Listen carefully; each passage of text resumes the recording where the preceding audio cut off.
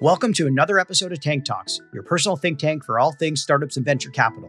I'm your host, Matt Cohen, founder and managing partner at Ripple Ventures.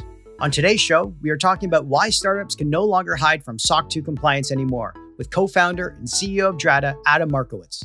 We all know that B2B SaaS startups focus most of their time and resources on generating revenue and building products, but rarely focus too much on security and compliance until that large whale of a prospect starts making requests to see your security controls before signing up as a customer. For anyone who has ever worked at a B2B startup, we've all seen that mad rush to answer extensive security questionnaires while trying to implement new security controls in order to not lose that deal. On today's show, we asked Adam to explain why the process of becoming SOC 2 compliant has just started to become a bit easier due to platforms like Drata to help rescue startups from the SOC 2 black hole. We get Adam to explain the expected cost and time commitment for when a customer asks for a SOC 2 audit and how startups can ease the stress by preparing ahead of time.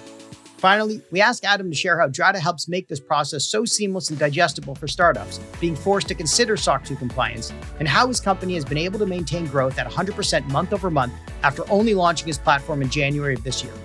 Now, let's get into this week's episode with co founder and CEO of Drata, Adam Markowitz. Thanks for joining us in the tank today, Adam. Thanks for having me. So, this will be a pretty important discussion today for a lot of B2B startups out there trying to land enterprise deals. I remember working at my last startup, selling software to global financial firms and learning about SOC 2 compliance for the first time.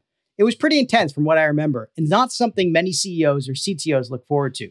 Chances are a lot of early stage startups have gone through the same experience as they try to move up market and sell to larger enterprises. So, Adam, I'd love to kick things off with what becoming SOC 2 compliant really means and why historically it has been not an easy feat for a lot of startups to achieve. So, being or becoming SOC 2 compliant it means that you've designed and implemented controls across your organization to help ensure the security, availability, privacy, confidentiality, and integrity of your customers' data. Uh, and a control you can think is just any policy, process, or tool you put in place to help really prevent a bad thing from happening or to help ensure a good thing happens. I always use the bicycle helmet analogy, right? A risk to riding your bike is head injury if you fall off. So, bicycle helmet is a control to help prevent or mit- you know, at least mitigate the chance of that bad thing happening to your head. At your company, a control can be a password policy you put in place to help prevent weak passwords from being hacked. Um, and so, why that hasn't been easy, you know, historically, one is knowing what controls to put in place. Um, SOC 2 isn't a prescriptive framework like others. It doesn't actually give you the controls. It gives you a set of criteria, and it's up to you to design and implement controls to satisfy that criteria. Um, so, because it's not prescriptive, you're not gonna, you know, you're gonna find that every company satisfies criteria using a different set of controls. So there's nuance to each company. Something that works for one might not even work or apply to another. Um, it also means that not every audit firm that will test your controls in the same way or use the same mapping. So there's extra ambiguity that just adds to the confusion, especially if you've never done it before. Um, but the biggest pain in getting SOC 2 audit ready is the time.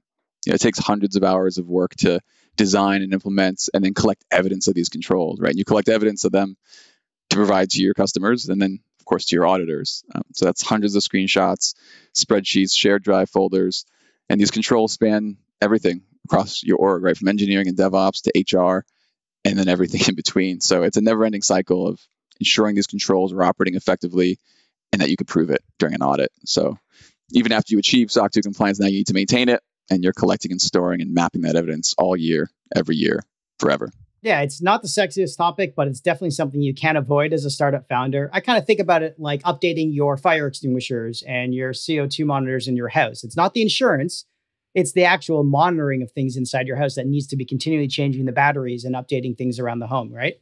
Yeah, I like that analogy.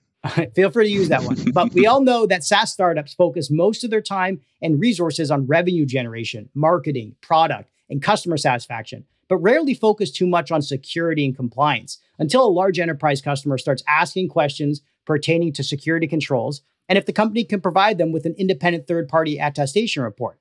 So, for those of us lucky enough to be a part of building startups, we've all seen that mad rush to answer question customer or customer questionnaires, extensive security questionnaires, and then implement those customer required cybersecurity controls in order to close that big deal which unfortunately ends up swallowing an organization's time and resources in the hopes to land that big whale, right?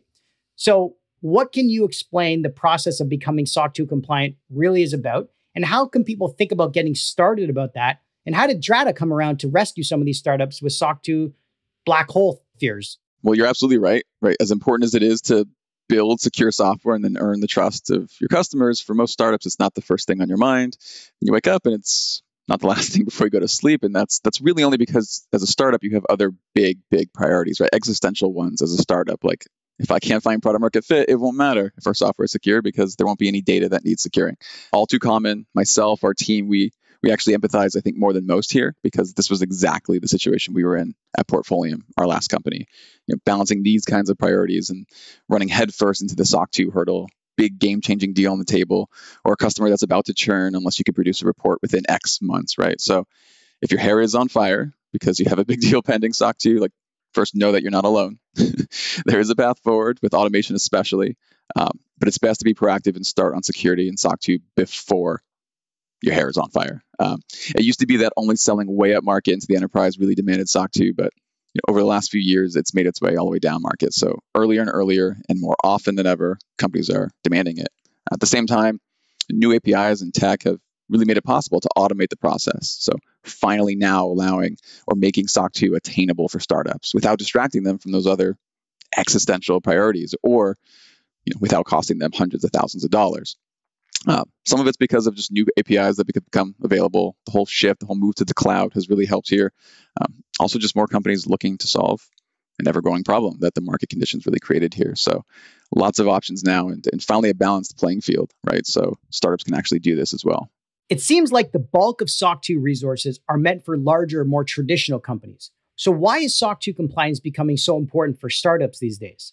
Sure. Yeah. I mean, vendor risk management is key to any security program. So, you know, if your vendor is breached and now there's a vector into your organization or your customer's data is now exposed because of this, it really doesn't matter if that vendor is a startup or not, right? The outcome's the same. So you, you could almost argue, right, there's more reason to scrutinize the security posture of your startup vendors than your larger vendors, depending on the data they have access to, because chances are that startup vendor doesn't have a well staffed or well funded security team behind the scenes, right? So uh, when going through any vendor evaluation, your prospect needs to really ensure you have the bare minimum in place. And SOC 2 has really become the, the bar by which companies gain that comfort and trust, right? Five years ago, I'd say that SOC 2 helped tell companies, you know, which vendors to do business with. Where today, not having SOC 2 is telling companies which vendors not to do business with, right? So it's gone from this nice to have to just must have table stakes just within the last few years. Interesting. So you're like everything's so interconnected now, no matter if it's startup or SMEs or large enterprises, that everyone could be exposed to a vendor attack because they do some business with someone else. And that's where you're trying to prevent it. That's exactly right. Yeah. Wow. You know, I feel like only savvy tech startups started using SOC 2 compliance as a competitive differentiator early on, as you said, maybe, you know, five, ten years ago as it was a powerful way to brand and market to global customers that your startup was more established and more credible and attuned to customers' needs. But now I feel like SOC 2 is sort of par for the course. Is that the case for all B2B startups, or are many still avoiding it like the plague? Yeah, I mean, one of the many, many reasons we couldn't wait to build and launch Drata was the fact that we witnessed ourselves, you know, firsthand, SOC 2 moving from this nice to have competitive advantage to must have table stakes requirement, right? It was was 2017 to 2019. We were selling our software at Portfolium into higher education, so university campuses, and the requests for the SOC 2 became more frequent. Then they weren't requests anymore, and then they actually became that bare minimum. So we saw it happen. We knew it was going to continue in this direction to the point where even if you tried to avoid it, you wouldn't be able to for long. And, and we felt so strongly too that you, you, shouldn't avoid it, right? You don't need to avoid it if you do it the right way and for the right reasons. And so yeah, it's been extra rewarding bringing Drata to market. Yeah, I remember trying to explain to our founders and CEOs when they ever started to talk about SOC 2, like never to avoid it, like educate yourself on it, really understand why customers are going to be asking for it and try to prepare for it. But then when they started going down that rabbit hole of, you know, where do they start? You know, there weren't companies like Drata around to try and help them. And you're saying because of like the cloud and AWS, it's made it a lot easier for people to start that journey down the path of SOC 2 compliance. Is that right?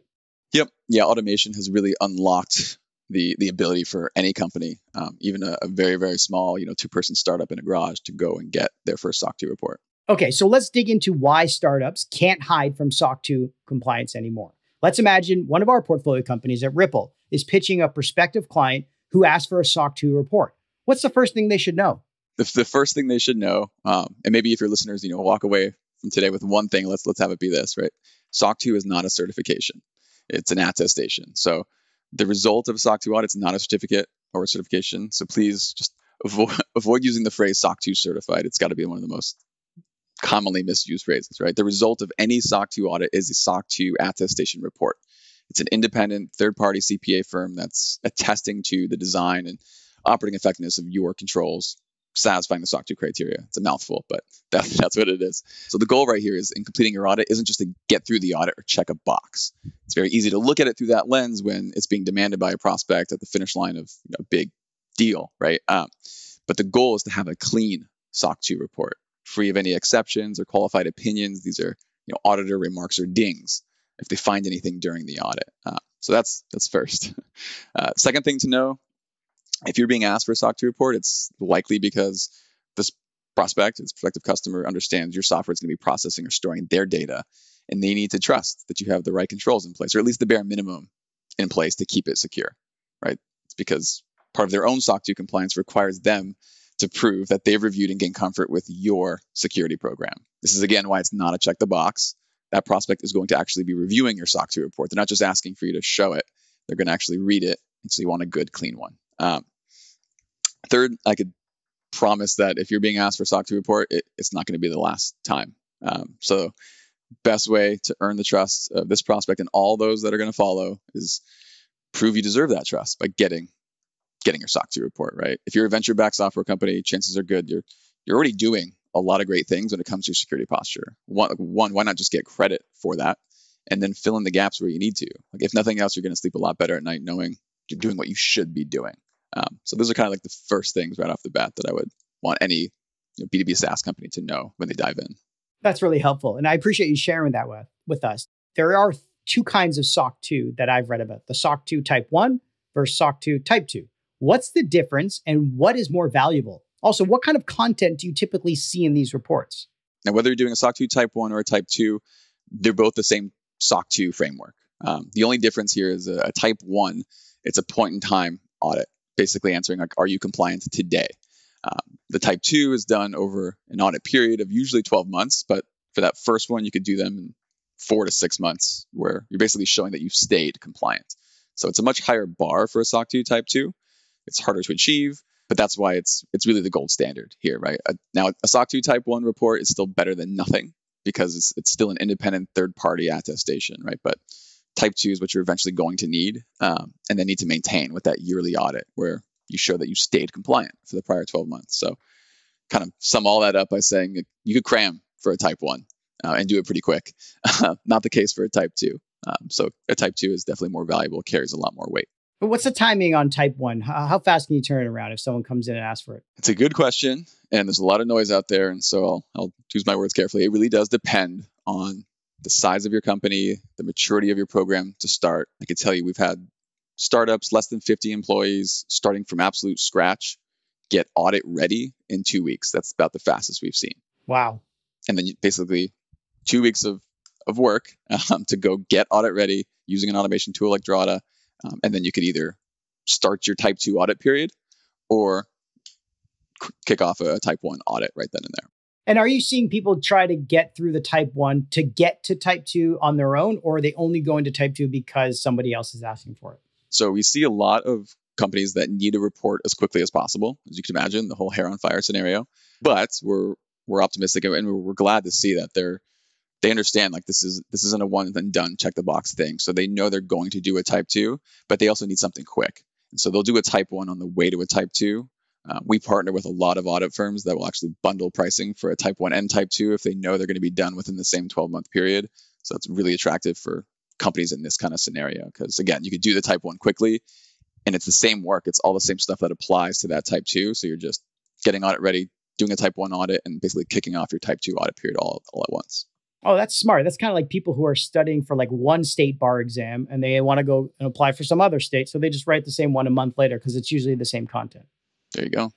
That was when I wanted to be a lawyer, but that doesn't make sense anymore. So, what kind of content are you typically seeing in these reports between the two? So, yeah, the, the SOC 2 report consists of five sections. Um, it's consistent. So, section one's the auditor's opinion. It's really the opinion on whether the controls are suitably designed and operating effectively. A summary, right? The, the scope and type of the audit is also included in that section one.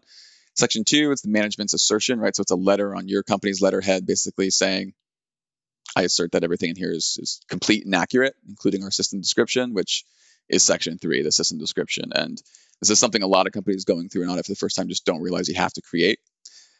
Ironically, it's it's a description of everything, you know, your infrastructure, your software, people, data, processes, controls.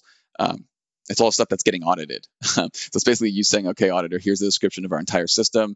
Please go audit this and attest to this. But if you've never done it before, you, might not know you need to do that. It could be like an 18 to 20 page document. Some audit firms will help you here. They have templates, but you have to be the one to officially write it, of course. And then section four is kind of the meat potatoes, right? It's the result of all the control testing that happens during the audit. So when you eventually hand a prospect the SOC 2 report, a lot of attention, that's where their eyes are going to go. They want to see if there was any exceptions um, in those control tests that were run during the audit. And section five is the last section. It's optional. It's if there are exceptions, that's where you'll have the opportunity to respond to them, basically justify them or give some sort of explanation. So that's that's the makeup of a SOC 2 report. That's awesome. Thank you so much for getting into the detail because I definitely have not been through a type 2. I will definitely call you next time I have to go with, through that with one of our portfolio founders. You know, one of the biggest concerns our founders have with these type of requests are around cost and time commitment. You know, if it takes 6 months to get your compliance program ready and you need another 6 months for the type 2 report, that's one whole year you have to wait before you even start your audit, which will likely take another month at the least. If your prospective client is asking for a year long audit, the wait gets even longer sometimes. So, how should founders think about budgeting time and cost for these types of requests from potential clients? So, time is by far the most expensive aspect here. Like I can tell you for a fact that the earlier you pursue SOC 2, the faster it is, therefore, the cheaper it is, and then the easier it is to maintain as you grow. The irony, though, here, of course, again, is companies will wait until their hair's on fire and it's takes longer, it's more expensive, and it's just the reason why people don't like talking about it. Um, so if you're a B2B SaaS company and you haven't been asked for SOC 2 report yet, start now. If you're already being asked for it, definitely start now. Um, I would say leverage an automation tool, of course, because it's if it's a good one, it's going to put you on the fastest, most efficient path to getting and then staying audit ready. Um, you know, a tool like Drata will actually help you before you get that first report in hand. Because um, again, you're getting the report to prove your security posture to your customers or prospects. We have built-in reports in Drata that do just that ahead of your first audit. So it's been a great way for our customers to show that they're doing the right things, they're well on their way, uh, and they can prove it. Um, it also helps you save from a cost perspective. Like you won't need to purchase as many additional things if you're using a tool like Drata on your way to your first audit. Uh, and then there's also even discounted pricing on things like the actual audit itself when you use uh, Drata. So again, the earlier you start, the better. Leverage automation um, and and have it become part of your culture uh, of your company. Right. This isn't a check the box thing. It's never going away. Um, but if you use automation, it's actually going to save you more time as your company grows. How can startups though instill that you know culture of cybersecurity right from the start? You mentioned it, but like it's not something I see a lot of our early stage startups talking about. So how do you suggest they instill that type of cybersecurity culture right from the beginning? So your, your people are your first line defense. They're also your first like attack vector. So it's it's vital you instill that culture and do it as early as possible. Um, I think the best way is to empower each employee to be responsible for their own cybersecurity. Right, educate them on on how a breach could affect your startup.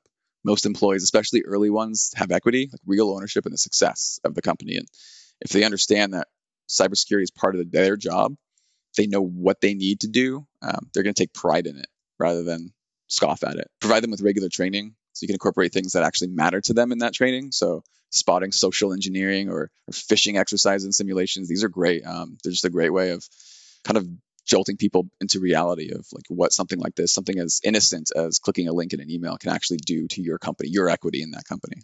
That's interesting. So what kind of other examples for people who aren't necessarily part of like the engineering or DevOps teams. So someone who's on sales or marketing, like what kind of things should you be doing? Obviously, two-factor authentication, running some of these exercises. What other suggestions do you have for founders out there to be building a cybersecurity culture from the start?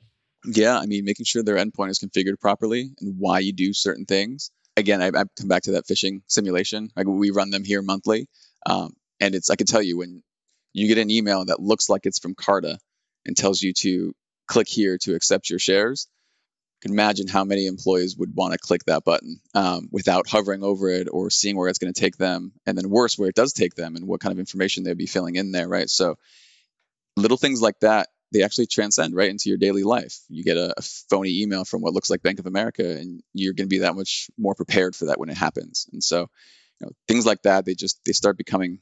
You do it from the early days; it becomes part of your culture. Wow. I mean, everyone wants to see the falling confetti coming down from their part of certificates accepted. Everyone loves that. So I totally get it. But it's interesting you say that, especially at like tech startups where you think everyone is very tech forward and tech literate. You know, it's only like your grandmother you think is going to be baited into clicking on a link for a Bank of America $3,000 credit card or something. But it actually happens more at startups than you think, right? Yeah, especially on mobile, right? Because you can't really you could ho- you can't really hover. You have to like kind of hold hold down on the link and see where it's going to take you. And then when it does take you somewhere, it's it's harder to spot a phony uh, phony landing page on mobile, especially when the URL is hidden. So yeah, absolutely.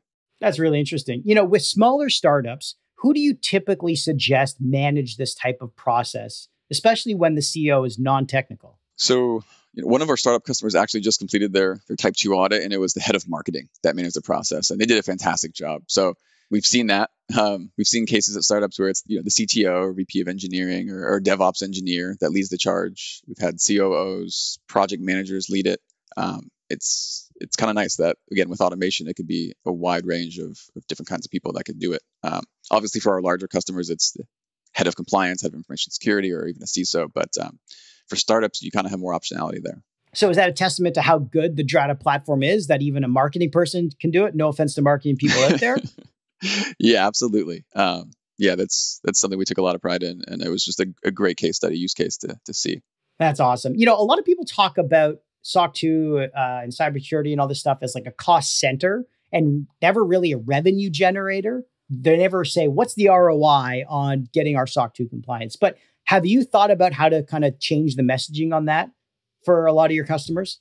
Yeah, we, we try to avoid selling on fear, right? Because there's there's plenty of that out there in security world. Um, it works because the cost, especially to a startup, it can be existential. But I like the flip side we were just talking about, right? The the opportunities that it unlocks, right? Being enterprise ready and, and what that means to your to your company. So plenty of kind of ROI calculators out there.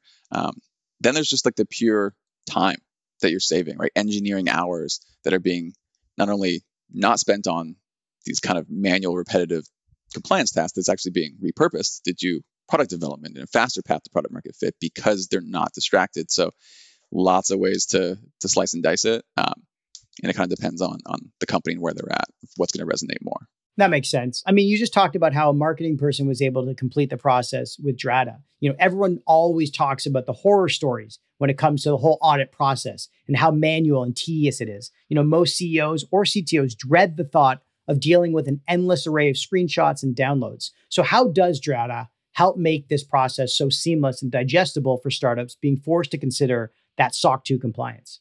So it does a lot. Um, you know, first, Drata provides all of its customers with just foundational policy templates, right? So pre-auditor approved templates that get you off the ground quickly uh, without having to Google and kind of Frankenstein together a bunch of policies that you're not super confident in. Uh, it also has this common control framework built in. So it's pre-mapped to the SOC 2 criteria. You don't have to agonize over you know, which controls to implement, how to map them, and gives you a playbook essentially. Um, but I think you know, most importantly, it's Drata connects to your tech stack. So your cloud infrastructure to your HRIS and, and, basically everything in between to do continuous monitoring and evidence collection of these controls. So this means when you log in, you see exactly where you stand, you know, how audit ready you are, where you have gaps. There's instructions on how to go fill those gaps. And when you're at 100%, you'll see you don't have to take and store screenshots as evidence for your auditor. It's automatically captured by the software every day mapped to that control environment. So after that, you're also going to see how these controls overlap with other frameworks. So when you're done high fiving over your SOC 2 report, you'll see how close you are to now being ISO 27001 certified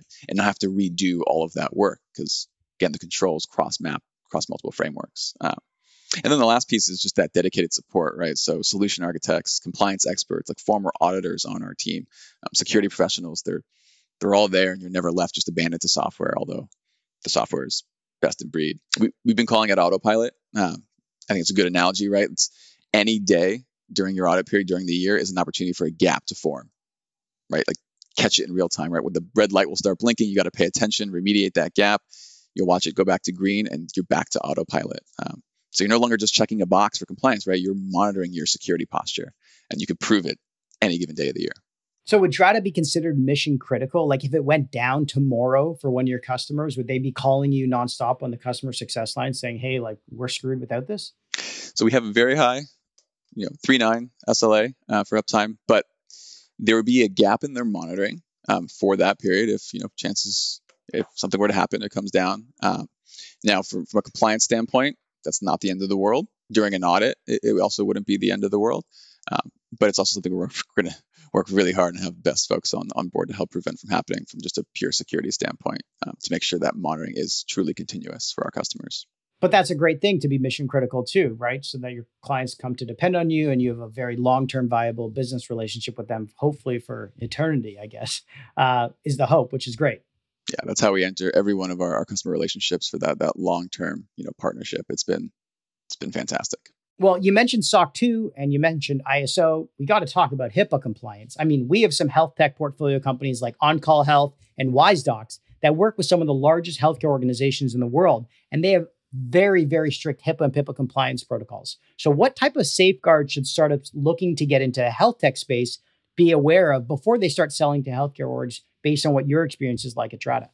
Yeah, so I mean, I mentioned earlier, right? There's there's a lot of overlap between these compliance frameworks. So many of the things that you're doing for SOC 2 are going to apply for HIPAA as well. Um, Drata helps you understand and see this. Um, so, and then also help fill in those remaining gaps, right? So with HIPAA, there's specific policies on how you manage PHI, right? Protected health information. Um, so there's specific training for your employees that would ha- also happen through Drata. Um, policies for how you notify customers of breaches, exposure. You're going to need signed, you know, BAAs, business associate agreements with those that engage with this PHI. So again, I, I, I come back to leverage automation. Um, a tool like Drata will show you what that overlap looks like and where you have those gaps. So you might be further further along with HIPAA than you than you think if you're already doing SOC 2. That's amazing. I remember you know one of our companies, they were literally locking themselves into rooms with like pass cards. You couldn't get in uh, because of some of the documentation that they were processing for some of the health organizations.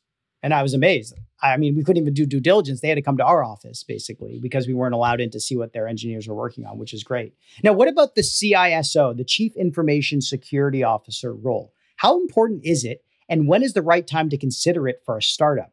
I can tell you we have a great CISO here at Drata, Ross Hausman. He's also a member of uh, SVCI, Silicon Valley CISO Investors, and they they invested in our last round, and that's how we were you know, originally connected. But uh, I'd say there's there's no standard formula here for when you hire a CISO or even a head of information security, right? It's, I think it depends on your business, who you're selling to, the kind of data you're storing or processing. These are all variables to consider. Um, you know, if you're holding highly confidential data, trying to sell to large enterprise, you're probably going to want to hire for that role sooner. If you're holding mostly metadata, selling to SMBs, you could probably wait a little bit, um, and then somewhere in between. I think more importantly, I mean, maybe it's just obvious, but I'll say it anyway, just just for the listeners, right? Hiring a CISO doesn't just automatically make you secure. Um, you really got to make sure that you bring them on at, at the right level, an executive level. They empower them, you support their program, and then fund it appropriately, right? Because um, it's it's never just a, again check the box, nailed it kind of thing. Well, I mean, it's amazing that one we're able to recruit CISO uh, as qualified as as Ross, and then you also were able to get the group of Silicon Valley CISOs to invest uh, in Drata. And I remember when we spoke almost a year ago when you were raising your first round of financing, and you've gone on to raise over 25 million, I believe, in your last round as a Series A with GGV, which is incredible. Only a few months after raising your seed round. So, congratulations. Can you tell us a little bit about the company's traction this year and what your plans are for the future at Drata?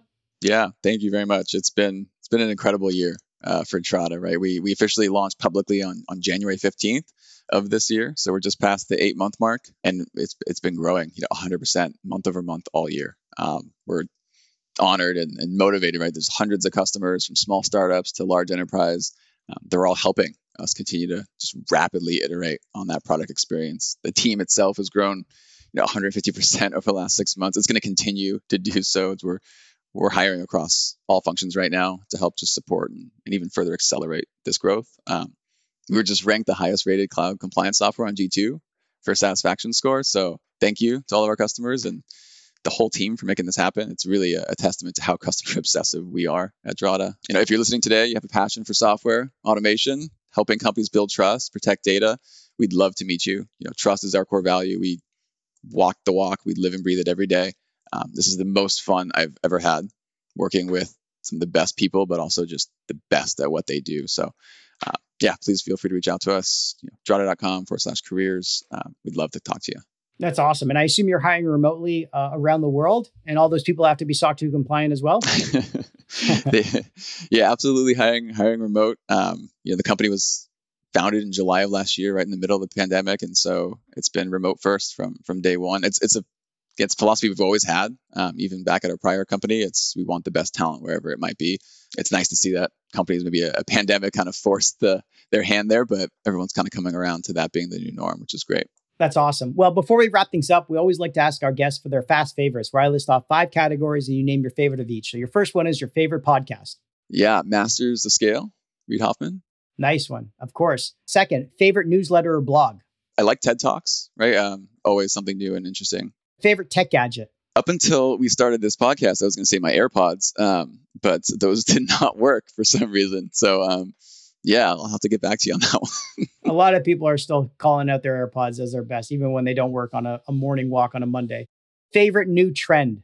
Yeah, kind of what we just talked about, right? The hybrid work. I think, uh, again, it was something selfishly that we used to use to compete with the, the larger companies, right? Um, where they would demand butts and chairs. Now everyone can be remote first, and, and that's a great thing for everyone. So uh, we like that. Huge benefit for startups. We totally agree with that. And last but not least, your favorite book? I got a couple. Um, let's see, Extreme Ownership, retired Navy SEAL Jocko Willink's book, um, and then Relentless. If you ever read uh, Tim Grover's book, the former trainer to Michael Jordan, Kobe Bryant, Dwyane Wade, that's a great one. Amazing book. We've heard that one on the podcast before, for sure. One of the best. Well, thanks for joining us, Adam, to talk about why startups cannot avoid SOC 2 anymore. Adam Markowitz, founder and CEO of Drata.